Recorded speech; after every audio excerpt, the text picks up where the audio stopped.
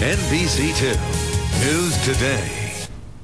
This morning, we're joined by Dr. Cederquist live in our studio to talk about new 2007 guidelines for preventing cardiovascular disease in women. Dr. Cederquist practices preventive medicine and weight management in Naples. So talk to us about this new study. Well, these are the new guidelines that actually have been released by the uh, big consensus expert panel. And what they went ahead and did was trying to give women guidelines to prevent heart disease. And the reason for that is one in three women still dies from heart disease, and it remains the leading killer of women. And many risk factors for heart disease are indeed lifestyle related. So if women know what they should be doing to prevent and what habits they should be stopping in order to protect themselves, it's very important. And one of the things they could be doing is eating better or eating certain items.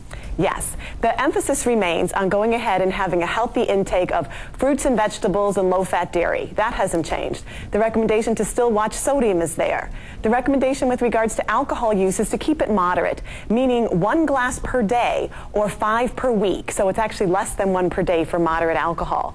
The newest recommendation is that all women should have fatty fish in their diet twice per week. That's fish like salmon, for example. And what they actually specifically recommended is women who actually have heart disease already, or if they have high triglycerides, which are a risk factor for heart disease, they should additionally take fish oil capsules, which is the potent part of the fish that's helpful with regards to heart disease. Now that's one supplement, and is there any other supplements that are also approved that have research behind them that people can take other than stacking up on our salmon? Yes. Well, very specifically, these new guidelines actually ask women not to take other supplements because there isn't any evidence that they are indeed helpful. The only one recommended was the fish oil capsules for women with heart disease or the high triglycerides. They specifically recommended not to take high doses of vitamin E, C, and A, which are the antioxidants, uh, because there's no evidence that they are protective with regards to heart disease. They also recommended to stop the recommendation for folic acid for heart disease prevention in women although it is still recommended in women of childbearing age to prevent certain birth defects. So that's a good thing to know because a lot of people will take these supplements thinking that they're doing better for their body. So no E, C, or A um, for this particular cardiovascular yes, prevention. Exactly. And also there are some other things, just to wrap up, we have 30 seconds. What are other things people could do? Um, exercise and keeping weight normal is actually protective for heart disease. And probably one of the most important is if you smoke, you need to stop.